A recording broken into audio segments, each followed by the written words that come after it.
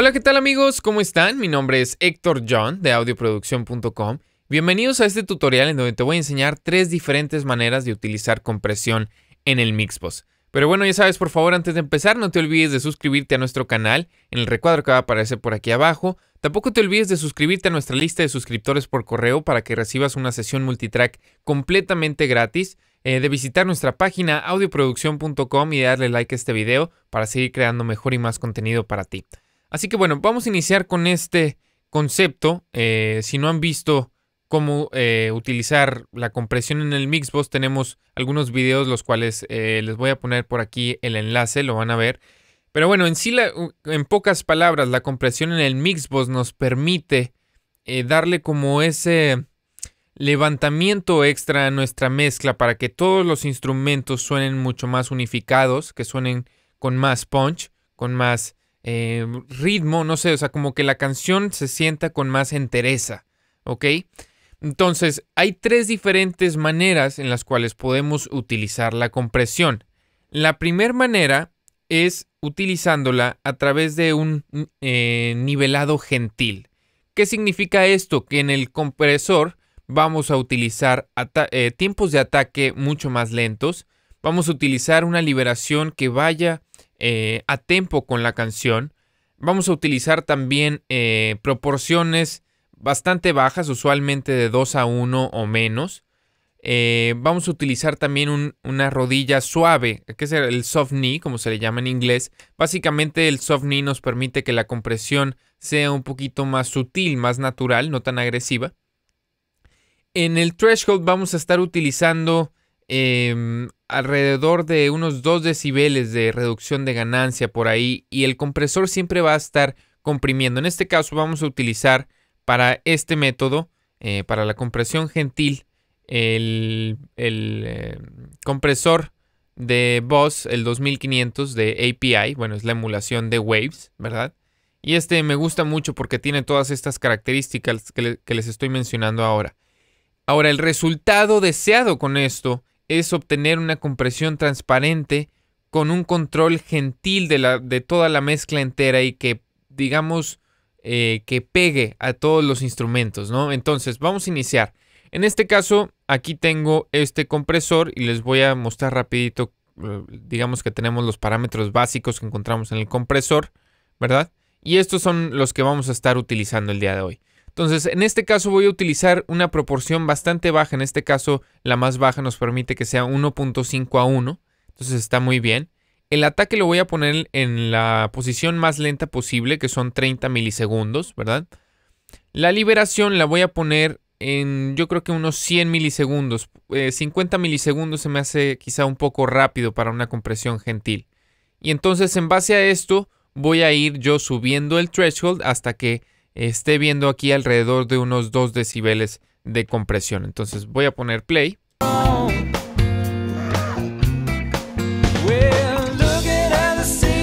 Obviamente aquí lo tengo desactivado, vamos a activarlo. Y listo.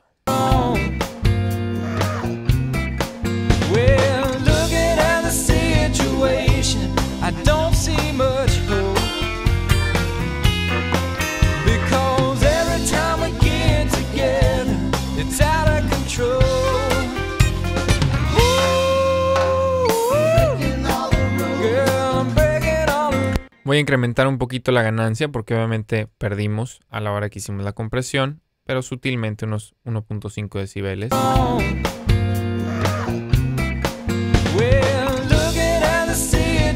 ¿Sí?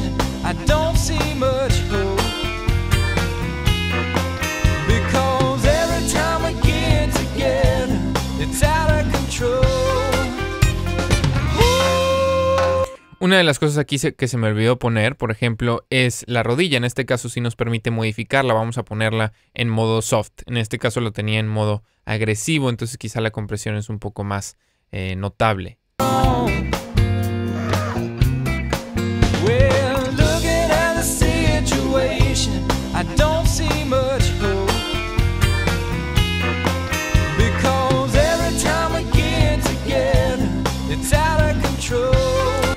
Quiero que notes también cómo por los tiempos de la liberación, que son 100 milisegundos, la, aguja, ¿verdad?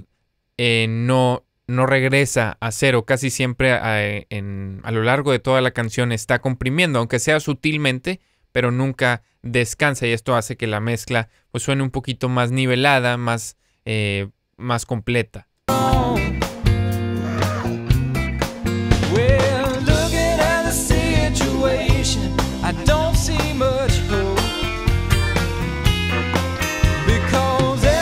Ahora, los, los, tiempos de ataque lento nos permiten que esas frecuencias bajas, por ejemplo, o las transientes iniciales, eh, pasen a través del compresor, lo que cree que la mezcla tenga un poquito de más eh, cuerpo, un poquito de más punch, ¿no? Sobre todo en el kick, quiero que pongan mucha atención a la hora en que desactivo y luego lo activo como el kick, o sea, el bombo y la tarola se vienen un poquito más al frente, toda la mezcla como que se siente más unificada.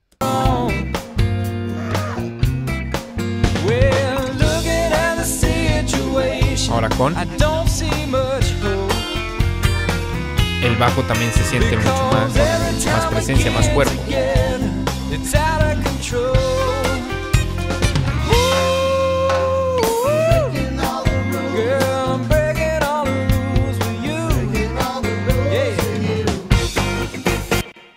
Ok, entonces esta es la manera, la primera manera de cómo utilizar compresión eh, para nivelar, ¿no? O sea, es una compresión eh, más gentil, no tan agresiva Vamos a ver ahora el siguiente método y en este caso voy a utilizar el SSL Boss Compressor de Waves también.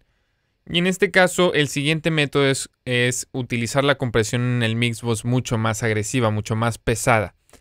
Ahora, ¿cuál es la diferencia? En este caso vamos a tener tiempos de ataque medios, no vamos a tener tiempos tan lentos. La liberación va a ser igual al, al groove de la canción, ¿verdad? En este caso yo creo que lo vamos a dejar aquí en 100 milisegundos igual. La proporción sí va a cambiar un poquito. En este caso vamos a utilizar la, proporción de 4 a 1. Es una compresión más agresiva, ¿verdad? Eh, en este caso el compresor de SSL tiene una rodilla eh, pues bastante agresiva. O sea, no es tan, tan sutil como lo podríamos elegir en el, en el API 2500, ¿ok? Y esto ya viene por default. Aquí no lo podemos modificar. Después, la, mm, el, threshold, perdón, el umbral lo vamos a poner también para que esté trabajando el compresor la gran mayoría del tiempo, ¿verdad?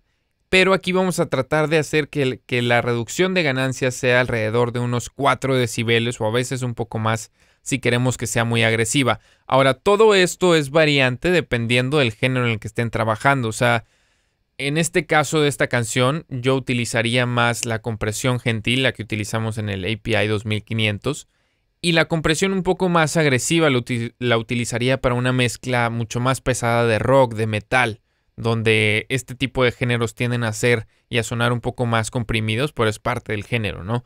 Em, pero bueno, por motivos de demostración lo vamos a utilizar también en esta canción. Y bueno, pues el, resultado deseado es un sonido mucho más agresivo.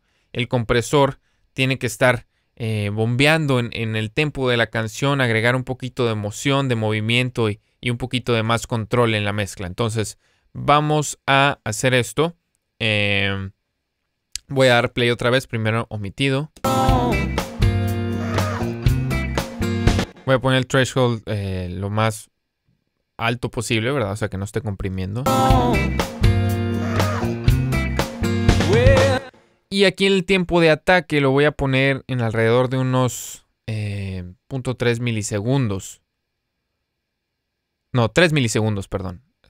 Me, mi vista no es tan buena.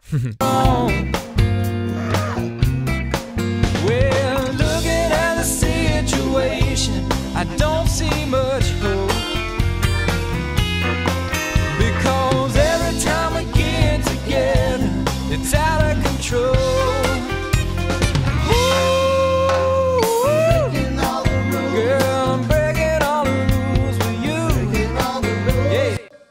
Escuchen cómo el kick pierde un poquito de las frecuencias bajas, pero agarra un poquito de más punto, de más filo, lo que hace que, pues, no sé, suene, suene diferente al otro tipo de compresión, ¿no? es más agresivo.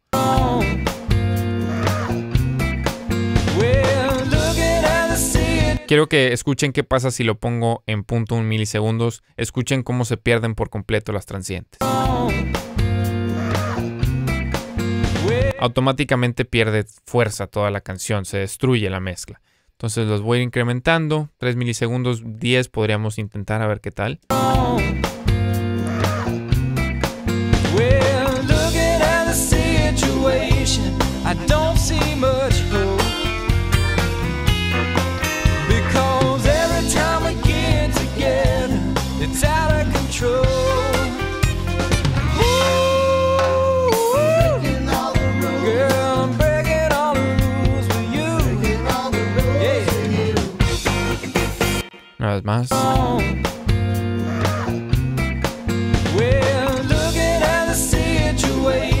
Aquí aumenté un poquito la liberación eh, a 300 milisegundos porque creo que conforme la compresión estaba sucediendo estaba regresando muy rápido la aguja.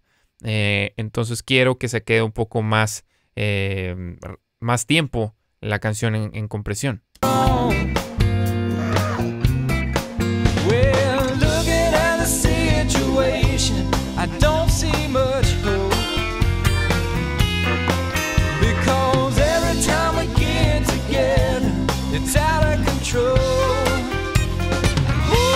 Vamos a probar en 10 milisegundos.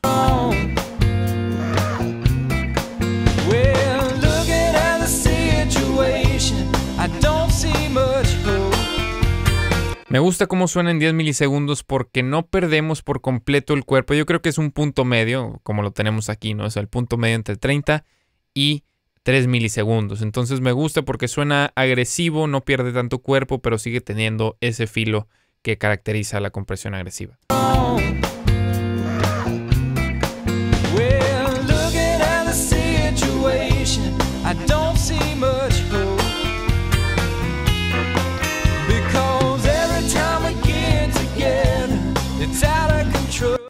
Entonces esta es la manera de utilizar compresión un poco más agresiva en el mixbox. Quizá se adecua más para géneros como el rock, como el metal, como el punk, ¿verdad? Se puede ajustar bastante bien este tipo de compresión.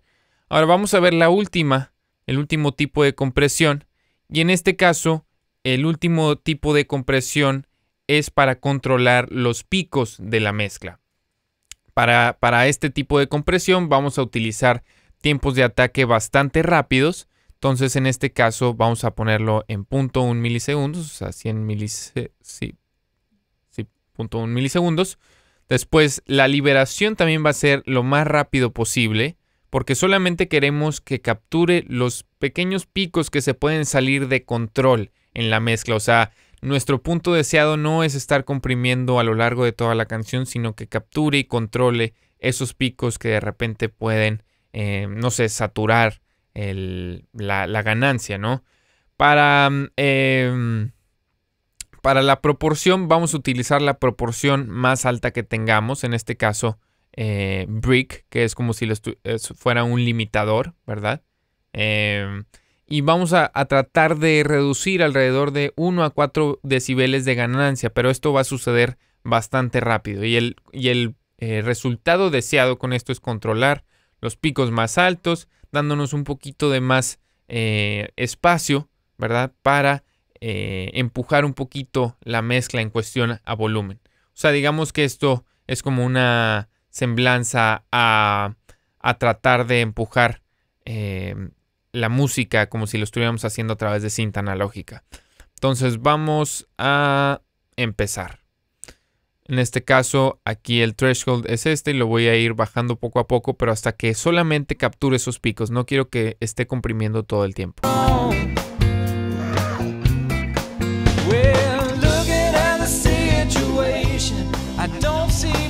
Ahí me pasé.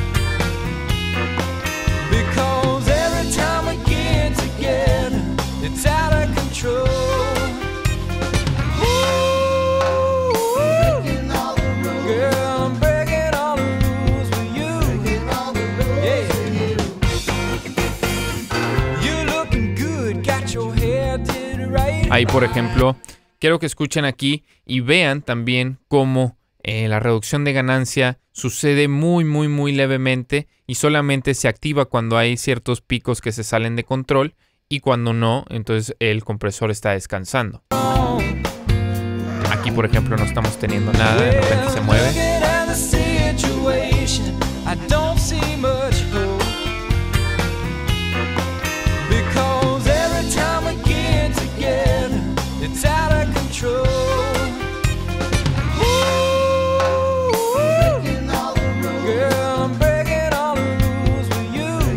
Entonces, esto puede funcionar bastante bien, sobre todo con mezclas que son un poco más naturales, mezclas de folk, eh, mezclas de jazz también, donde queremos compresión bastante sutil, que no sea notable, que todo suene mucho más natural, que tenga más control.